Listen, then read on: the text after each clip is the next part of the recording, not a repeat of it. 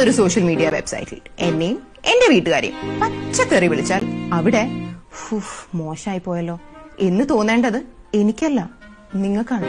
നിങ്ങൾ ഒരു social media വെബ്സൈറ്റിൽ എന്റെ വ്യക്തിത്വത്തെ വിവരിക്കാൻ അസഭ്യമായ വാക്കുകൾ ഉപയോഗിച്ചാൽ ആ വാക്കുകൾ അവിടെ വിവരിക്കുന്നത് എന്റെ വ്യക്തിത്വത്തെ അല്ല നിങ്ങളുടെ വ്യക്തിത്വത്തെയാണ് ഞാൻ ഈ പറഞ്ഞത് മൊത്തം കേട്ടിട്ട്. ഇതിൽ ഒരു പോയിന്റ് പോലും ശ്രദ്ധിക്കാതെ അഥവാ നിങ്ങൾ മനസ്സിൽ വിചാരിച്ചുകൊണ്ടിരിക്കുന്നത് ആ അപ്പൂക്ക് മലയാളം പറയാൻ അറിയാം. എന്നാണെങ്കിൽ ആ അതേടെ മലയാളം പറയാൻ നന്നായിട്ട് അറിയാം നിങ്ങൾ ഒരു സോഷ്യൽ മീഡിയ വെബ്സൈറ്റിൽ എന്നെയും എന്റെ വീട്ടുകാരെയും പച്ചക്കറി വിളിച്ചാൽ അവിടെ "ഹുഫ്, മോശമായി പോയല്ലോ എന്ന് തോന്നേണ്ടത് എനിക്കല്ല നിങ്ങൾക്കാണ്.